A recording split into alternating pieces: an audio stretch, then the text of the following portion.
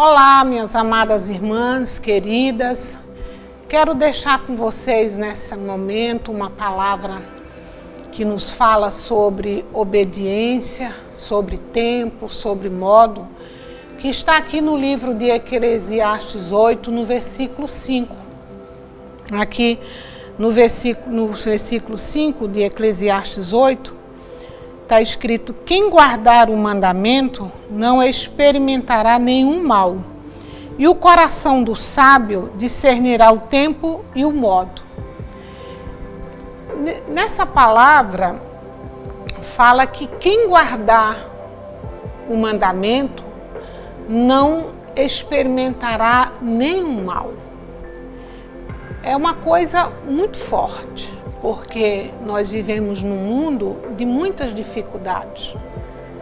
Mas o que nós devemos entender aqui da parte de Deus é que quando nós guardamos a palavra de Deus, quando nós vivemos em obediência, nós podemos desfrutar de uma vida com Deus, com lutas, com adversidades, mas sabendo que o Senhor está conosco e que nós vamos vencer essas adversidades. Mas quando nós desobedecemos a palavra, quando nós desobedecemos a Deus, nós vamos trazer para a nossa vida muito embaraço e sofrimento.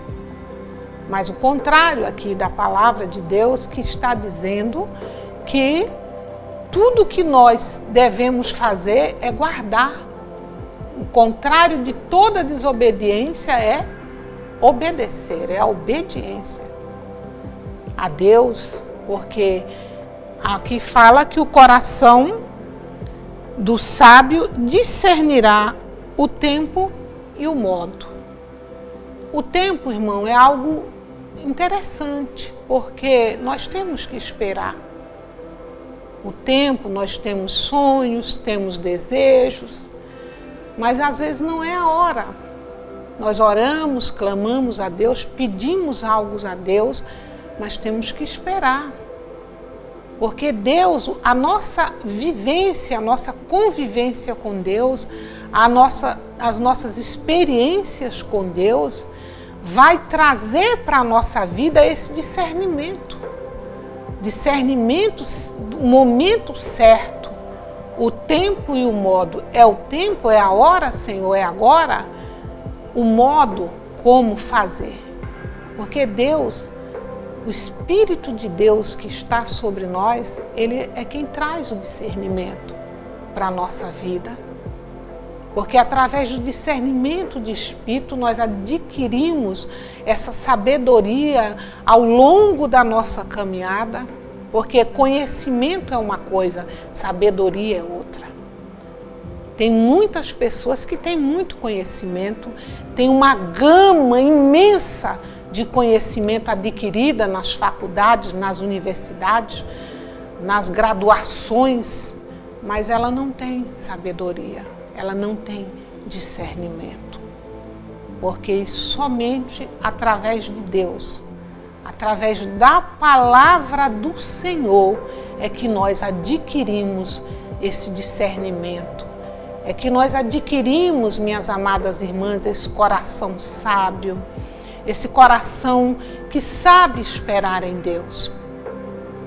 Uma coisa que traz muitas consequências para a vida de uma pessoa é aquela pessoa que não quer esperar.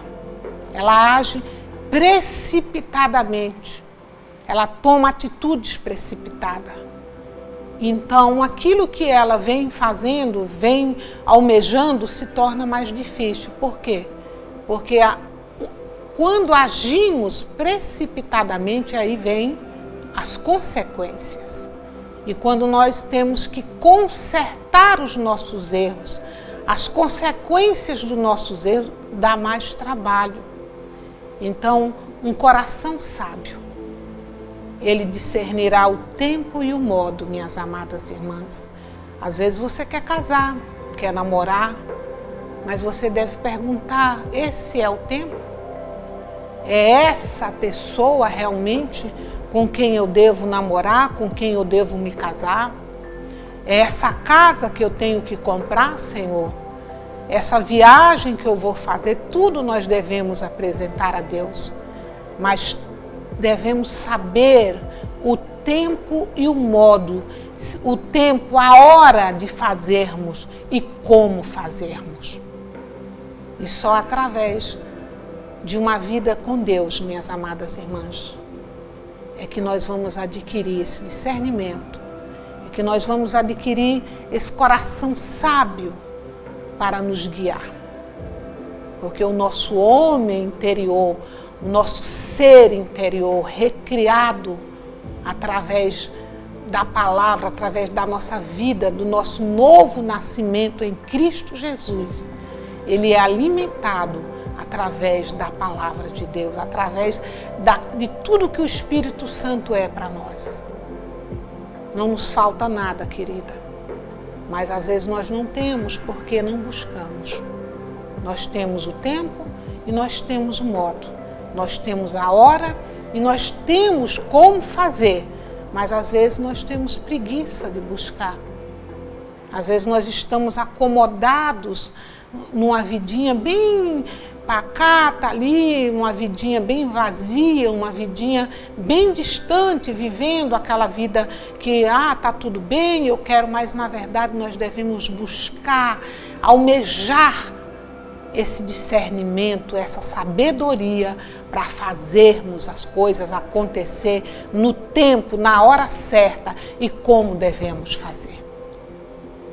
Eu creio, minhas amadas irmãs, que em Deus, na palavra, juntamente ali com o Espírito de Deus trazendo sobre nós o discernimento, a sabedoria, o entendimento de tudo aquilo que Ele tem para nós, nós vamos conseguir, em nome de Jesus, fazer as coisas, aquilo que, que é bom para nós, aquilo que Deus tem para nós.